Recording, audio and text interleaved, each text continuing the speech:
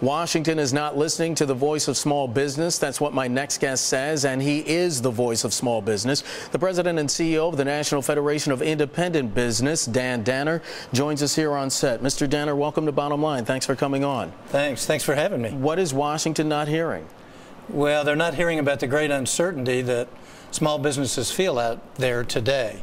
The reason they're not hiring is they're very concerned about the future of the government going forward. They're concerned about the cost of health care. They're concerned about the deficit and the debt. And they think with this environment, it's not a good time for them to invest and create jobs. Is this just, is, is it the psychology that's permeating this right now? Is it just, as you say, uncertainty? Or, unfortunately, you have to bring it up, is it more political than anything else? Well, I think the two of those are very related. I mean, if you're a small business owner and you don't know what the cost of your health care is going to be going forward, that's a great risk.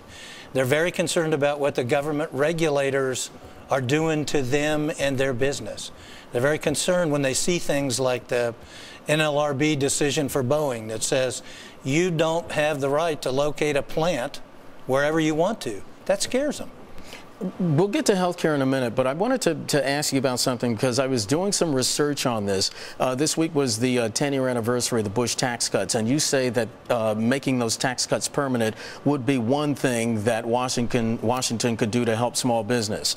Uh, Mother Jones cited statistics from the Economic Policy Institute in the report this week. Between 2001 and 2010, the Bush tax cuts added 2.6 trillion to the public debt, 50% of the total debt accrued during that time. And over the past 10 years, the country has spent more than 400 billion just servicing the debt created by the budget cuts, tax collections plunging to their lowest share of the economy in 60 years. How is that helpful to Main Street?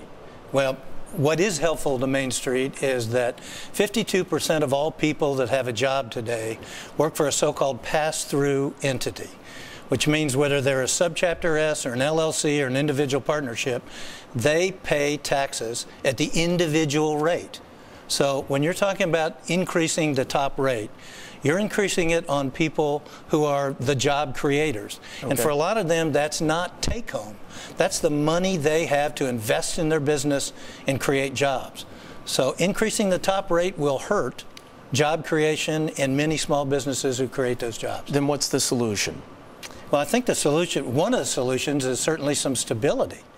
Uh, send some signal today that you're not going to increase taxes on the job creators if you want them to create more jobs.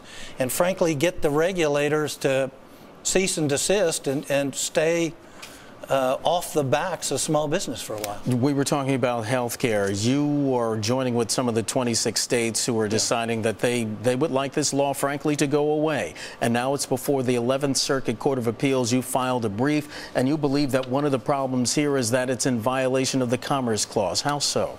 Well, we believe the individual mandate is, is the part that's in violation of the Commerce, Commerce Clause, is unconstitutional, that the government does not have the right, should not have the right, to tell you as an individual that you have to purchase something just because you exist. Now, the, the, the flip side of the argument, as I'm sure you've heard, is that if everyone is required to get health insurance, then it helps those who don't. If you don't have health insurance, but I do, and you get sick, I'm basically ending up paying for it.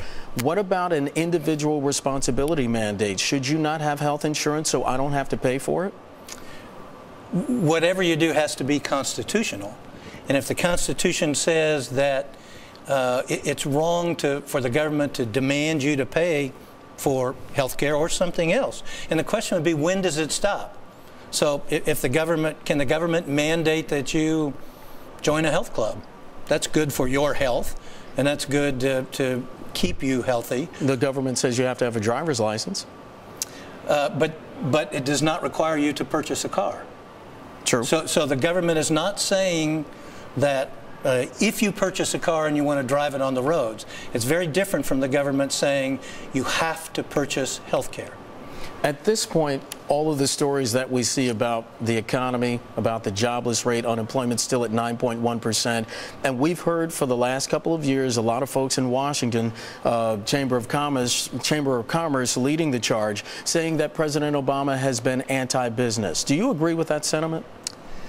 I think you get very mixed signals uh, at times from what comes out of the White House and, frankly, what comes out of some of the agencies. As I mentioned earlier, the president has said we want to reduce the amount of regulations on business. At the same time, you have decisions coming out of the NLRB and other places that look very, very punitive to business. What concerns so, you the most? About those individual regulations? Yeah, but you, you mentioned NLRB, National Labor Relations Board. What concerns you the most? What do you think is the most punitive? Well, I certainly think the Boeing uh, case okay. is very punitive. To, to, to say to a business that has increased their employment in the state of Washington, not reduced it, increased it, they don't have the right, shouldn't have the right to open a new plant wherever they think the economic environment is best. I think that's a pretty chilling decision. What are the small business owners, the men and women in this country, the entrepreneurs, what are they telling you needs to be done? When, when you talk to them, when you sit down to these groups, what's the one thing they say could unleash a torrent of economic activity, and that includes hiring and perhaps paying people better wages? Well, again, I think it's mostly, it, it not it's mostly certainty. I, if I'm going to make an investment, an investment's about risk, and I want to be able to calculate the potential return on my investment. But even in so, certain times, an investment like that is risky, is it not? Sure, but, but, but you calculate risk. And, and most of the small businesses we talk to believe today that the economy is going to get worse before it gets better. Do you believe that? Uh, I, I do. I think that's where we are right today. I mean, we hope that turns around, and, uh, and our small business owners hope that turns around. But certainly there aren't good signals on the horizon today for the, for the weeks and months ahead. Dan Danner is the head of the NFIB, gracious enough to come into our studio on a really hot day here in New York City. Mr. Danner, Thanks it's a pleasure. Me. Thanks. Please come back yeah. because this is a conversation Love we're going to have even after the Gang of Six, even uh, after the debt ceiling. Oh, even before I let you go.